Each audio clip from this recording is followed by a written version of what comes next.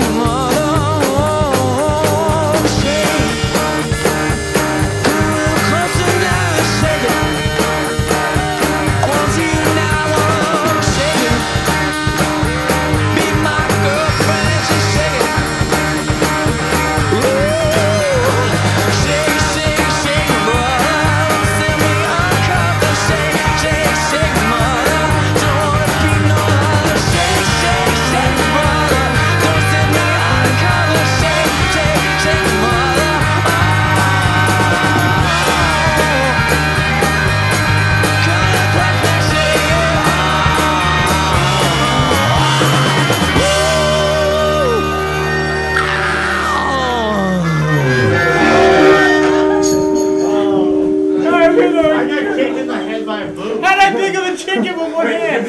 I don't know why I did that.